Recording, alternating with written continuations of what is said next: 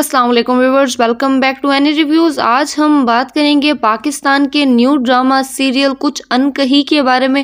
Viewers, आपने ड्रामे की दो एपिसोड देख ली होंगी और बहुत ही पॉजिटिव रिस्पांस मिला। व्यूवर्स, की जानब से ड्रामा सीरियल कुछ अनकही को। तो ड्रामे की कुछ चीज़ें डिस्कस करेंगे। और ड्रामे की स्टोरी के बारे में बात करेंगे व्यूवर्स लेकिन अभी तक जिन्होंने एनी रिव्यूज़ ज्वाइन नहीं किया है, कर लें ताकि मेरी मजीद वीडियो आप देख सकें। ड्रामा तो 100 परसेंट फ़ेमस होगा ही होगा, क्योंकि एक तरफ़ सजर अली हैं और दूसरी तरफ़ बिलाल अब्बास। इन दोनों की जोड़ी पहले भी बहुत ज़्यादा पसंद की गई थी, ड्रामा से औरंगरेजा उठाकर देख लें या फिर खेल खेल में मूवी उठाकर देख लें, और इसके बाद अब दोबारा आपको इस ड्रामा में इनकी जोड़ी देखने को मिलेगी और बहुत ही नोक झोंक भरी स्टोरी है। और ड्रामे का इंटरेस्ट जब आएगा, जब इनका पास दिखाया जाएगा। क्योंकि क्यों ये दोनों आपस में लड़ रहे हैं? इन दोनों के मुहिदे हुए हुए थे कि हम लड़ेंगे नहीं एक दूसरे से। वो वाली स्टोरी है, वो बहुत ही ज़्यादा इंटरेस्टिंग है।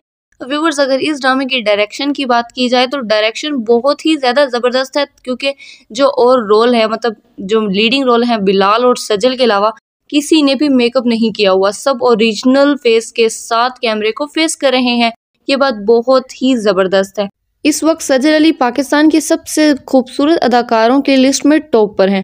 व्यूवर्स, इस ड्रामे में अगर आप सजर अली की लुक को देखें तो बहुत ही ज़्यादा ज़बरदस्त है, क्योंकि ना तो पेंट शर्ट वाली लुक है, क्योंकि हम कह देंगे कि वेस्टर्न लुक आ चुकी है हीरोइन की, और ना ही इतनी वो शलवार कमीज़ और तहजीब वाली लड़की की लुक है, एक नॉर्मल सोसाइटी की लड़की दिखाई गई है। व्यूवर्स, अगर इस ड्रामे की सबसे ज़बरदस्त हम बात करें कि मुझे कौन सा रोल बहुत ही ज़्यादा अच्छा लगा है तो मुझे जो इनकी मासी है ना, वो बहुत ही ज़्यादा ज़बरदस्त लगी है। उसकी स्टोरी उसकी बॉडी लैंग्वेज और किस तरह वो बोलती है, उसकी एंट्री भी बहुत ही ज़बरदस्त थी। और उसके बाद जो उसके और भी बहुत से सीन्स आए हैं सेकंड एपिसोड में वो भी मुझे बहुत ही अच्छे लगे हैं।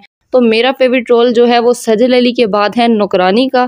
और अगर हम इसरा गज़ल की बात करें, इसरा गज़ल भी बहुत ही पॉजिटिव रोल प्ले कर रही हैं, क्योंकि पाकिस्तान में उर्दू को प्रमोट नहीं किया जाता, इसलिए इस ड्रामे में उर्दू को प्रमोट किया जा रहा है। अगर हम कुसिया के बारे में बात करें कुसिया पहले भी बेटियाँ ड्रामा प्ले कर चुकी हैं, उनमें भी उसका इसी टाइप का थोड़ा रोल था, थोड़े मॉडर्न या फिर हम ये कह दें कि जो नॉर्मल हमारी सोसाइटी में लड़कियाँ होती हैं, उस तरह की लड़की का रोल नहीं था।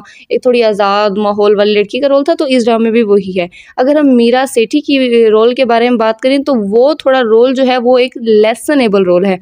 उससे हमें बहुत से लेसन सीखने को मिलेंगे।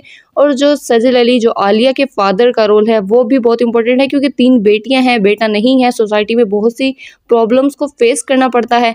तो वो चीज़ें बहुत ही नाजुक तरीके से दिखाई गई हैं और बहुत इमोशनल भी ये ड्रामा होगा जितना स्टार्ट पे फ़नी है ना मिड में जाकर ये ड्रामा बहुत ही ज़्यादा इमोशनल होने वाला है।